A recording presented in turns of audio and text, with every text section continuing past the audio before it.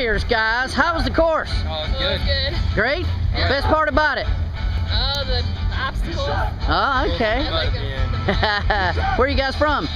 Valpo? Where? Valparaiso, Indiana. Valparaiso, Indiana.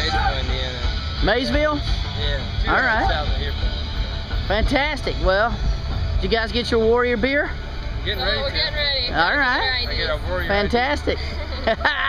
All right. Two more. Woo!